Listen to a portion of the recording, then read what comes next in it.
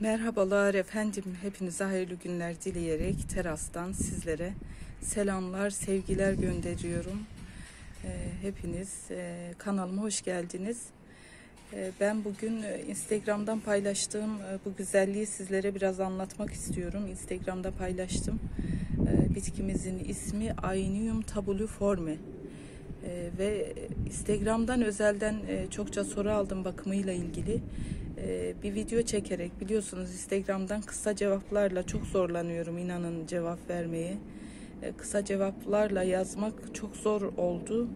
Ee, bu biraz bakım bilgilerini anlatarak e, biraz da cevap niteliğinde bir video olsun istedim. Evet e, bitkimiz Ainium tabuliforme. E, fincan tabağı, e, düz tepeli, sukulent, e, yemek tabağı sukulent de e, isimleri arasında böyle de biliniyor. E, bu böyle düz formda açtığı için tabak sukulent denmiş.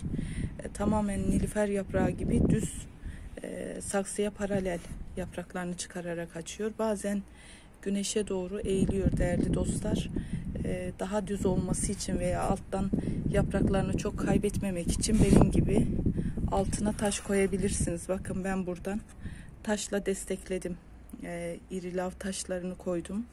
E, bu taraftan toprağa değmesin. E, toprağa değen yapraklardan kayıplar oluyor. Onun için endişelenmeyin.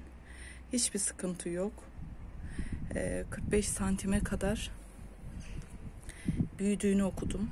Ee, inşallah bizim de o kadar olur. Benim şu anda şöyle e, bir avucumun içi kadar.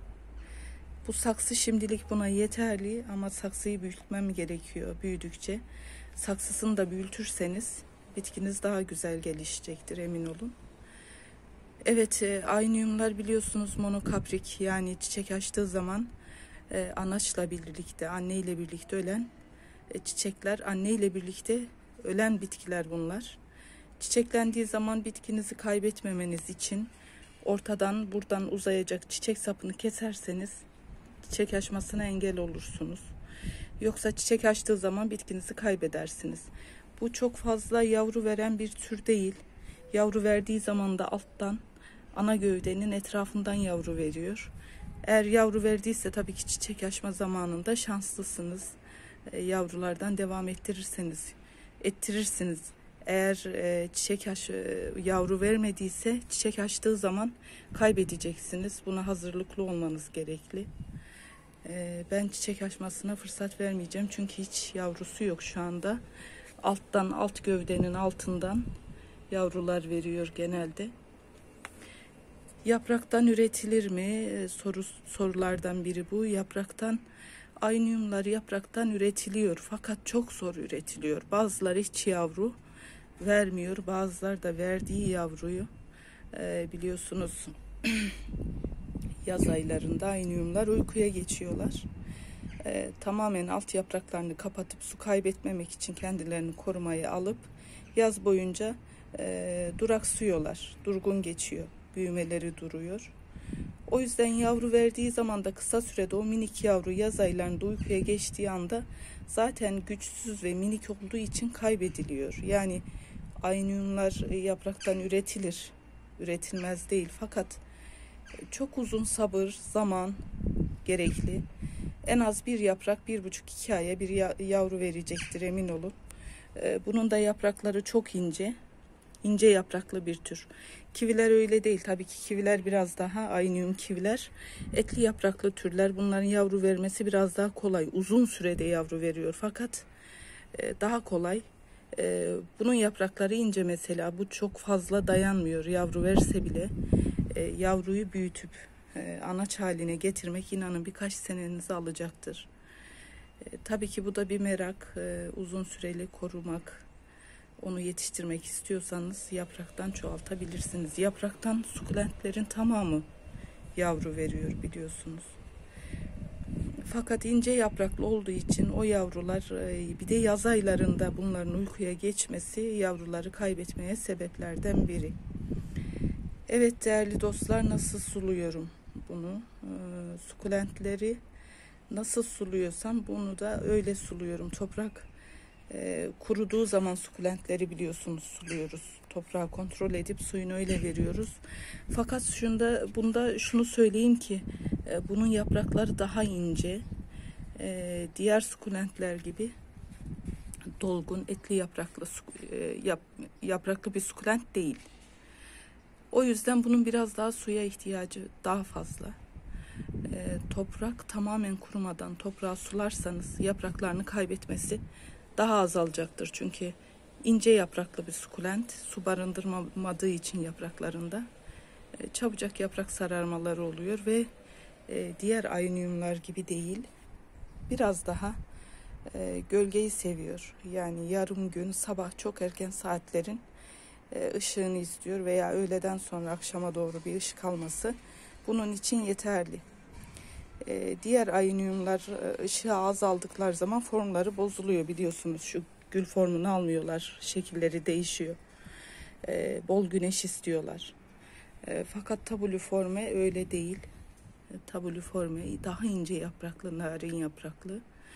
Bu yüzden yapraklar güneşte çabuk kuruyor. Su ihtiyacı azaldığı zaman e, formu ve şekli bozuluyor değerli dostlar.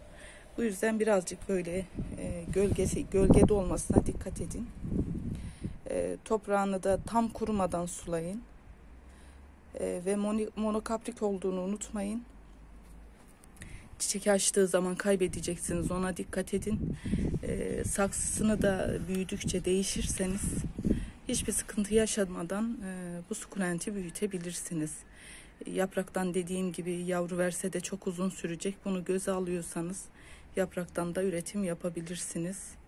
Aynıyumlar e, yazın uykuya geçecekleri için, durgunlaşacakları için ilkbahar ve sonbaharda en güzel zamanları e, yapraktan üretim yapacağınız zaman ilkbaharı tercih etmenizi tavsiye ederim baharın başlarında. Yaprakları toprağa veya e, bir kuru peçete üzerine bırakırsanız yavru verecektir. Ama dediğim gibi yine yavruları büyütmek, anaç haline getirmek çok zor. Yani çünkü zaten büyük haliyle çok hassas e, bir bitki. Üzerinde kesinlikle su istemiyor. Benim e, terasım açık. Yağmur yağdığı zaman inanın köşe bucak saklıyorum. Çünkü bu yaprak aralarından giren su aralardan yaprak çürümelerine sebep oluyor. Bu da bitkinin kaybetmeye sebep olabilir. Fark etmeden e, aralardan çürüme yapabilir. E, sularken direkt toprağa su değdirirseniz yapraklara değdirmeden yeterli. Yani tozlandı, yıkamak istiyorum, üstü kötü. Hemen suyu tutun. gölge bir yerde suyunu iyice süzdürdükten sonra bir peçeteyle şöyle üstüne hafif bastırıp suyunu alırsanız hiçbir sorun yaşamazsınız. Evet bu da böyle bir güzellik. 45 santime kadar büyüdüğünü e, okumuştum bir yerde. E, büyüdükçe tabii ki saksısını da büyütmek gerekli. Benim henüz bu kadar şöyle küçük bir göbek almıştım. E, bu kadarlık bir rozetti. E, ilk yıl bu kadardı. 2-3. yılımız bu. E, demek ki aşağı yukarı şöyle 3 yaprak yılda büyüyor. Henüz ilkbahar tabii ki daha büyüme devam ediyor.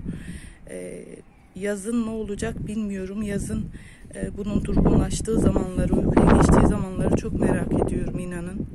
E, çünkü ince yapraklı e, bir sukulent.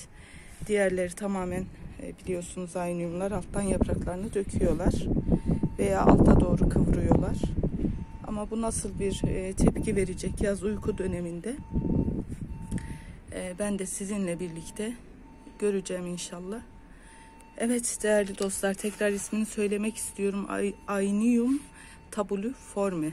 Ainium ailesinden e, düz tabak, tabak sukulent diye bilinen e, fincan tabağı e, diye bilinen sukulent bir tür e, ve sizlere şöyle görüntülemek istedim. Umarım e, faydalı olmuştur. E, Instagram'dan beni takip eden arkadaşların e, sorularına da cevap niteliğinde olsun bu. Umarım faydalı olmuşumdur sizlere. Evet. Aynumlar güzel türler. Ve severek yetiştirdiğim türler. Evet değerli dostlar fazla videoyu uzatmadan sizlere sağlıklı, mutlu, huzur dolu günler diliyorum. Güzel bir gün, huzurlu bir hafta. Hayırlı bir ömür olsun inşallah hepiniz için, benim için. Ee, sağlıkla, sevgiyle mutlu kalın. Bir dahaki videoda görüşmek üzere. Hepinize hoşça kalın.